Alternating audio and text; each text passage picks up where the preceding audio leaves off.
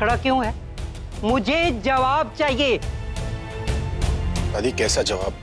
तूने हमें तनु के मम्मी डैडी की यहाँ आने की असली वजह क्यों नहीं बताई?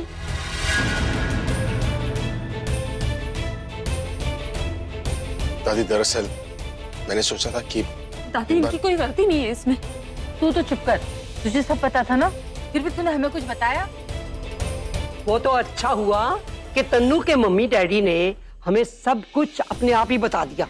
नहीं तो तुम दोनों ने तो हमें अंधेरे में रखा था ना? दादी दादी दादी। वो। और तू तुम पर मैंने सबसे ज़्यादा भरोसा किया। और तुम्ही ने मुझसे सच छुपाया।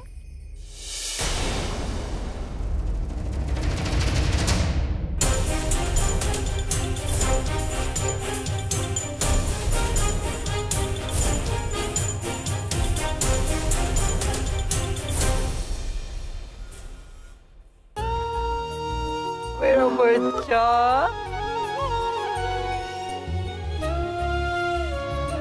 तू तो सच में रोने लगी। अरे इतनी भी बड़ी बात नहीं है। जब तनु ने खुद हमें ये नहीं बताया कि उसके मम्मी डैडी उसके लिए लड़का देखने आए हैं तो तुझसे शिकायत कैसी है?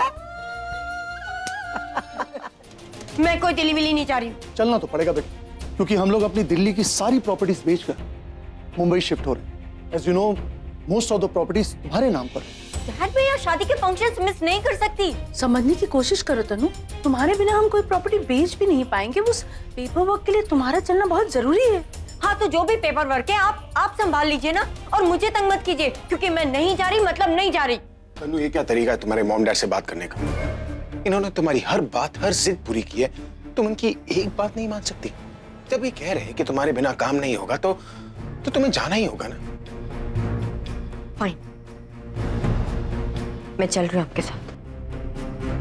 बेटा हम लोग पूरी कोशिश करेंगे कि शादी वाले दिन यहाँ पहुँच सके, ताकि तन्नू के साथ साथ हम भी ये शादी अटेंड कर पाए। और शादी के दूसरे ही रोज एक और शादी। तुम्हारी और तन्नू।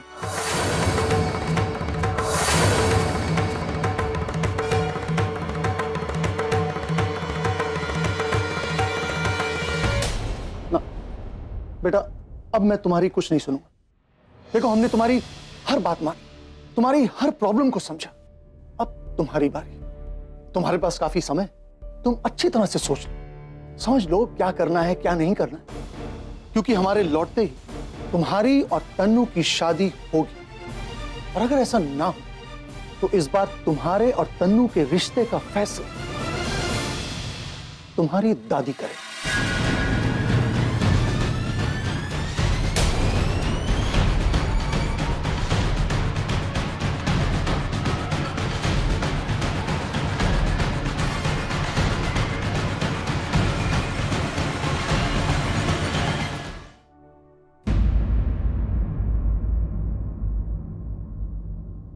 I am sorry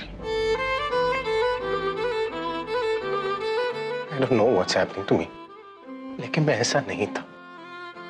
मैंने लाइफ में बहुत प्रॉब्लम्स फेस की लेकिन कभी प्रॉब्लम से दूर नहीं भागा, कभी परेशान नहीं हुआ। लेकिन आज इतनी तकलीफ़ हो रही है कि छोटी छोटी बात से गुस्सा हो रहा हूँ मैं। शायद मैं इस बात से डर रहा हूँ कि कहीं मैं तुम्हें खो